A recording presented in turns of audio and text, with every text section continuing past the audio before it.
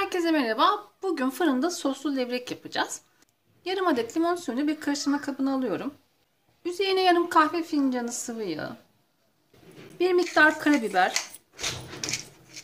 Bir miktar sarımsak tozu ya da rendelenmiş sarımsak kullanabilirsiniz. Kimyon. Kırmızı toz biber. Kekik.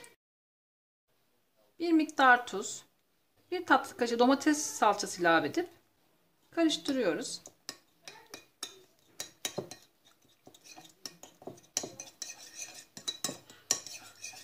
Hazırladığımız sosu levreklerimize sürüyoruz.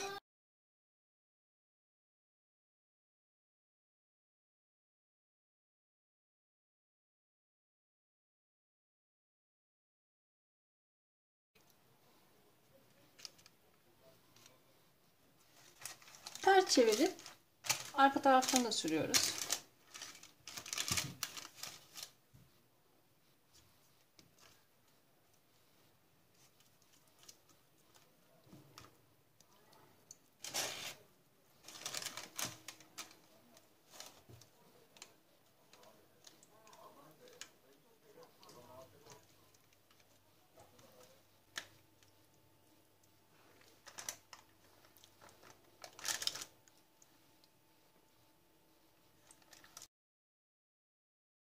İç kısımlarını da aynı şekilde sosumuzdan sürüyoruz.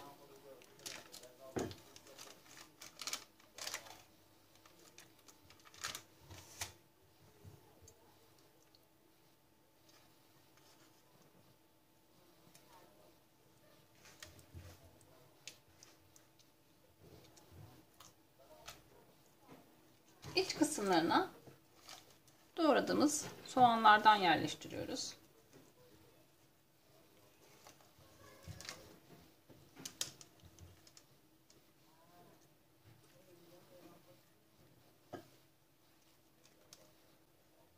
Aynı şekilde domateslerden.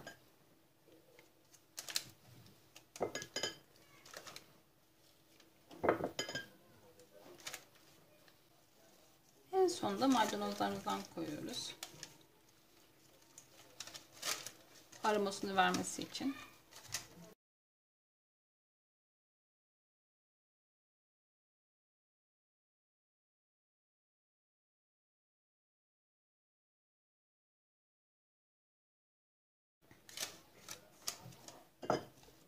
Kalan soğanlarını da böyle atıyorum.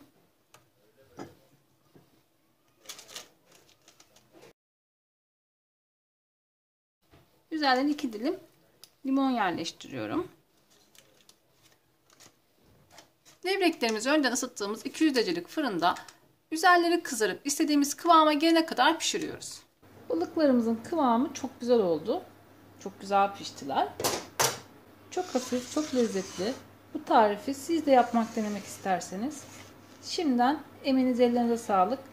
Hepinize afiyet olsun.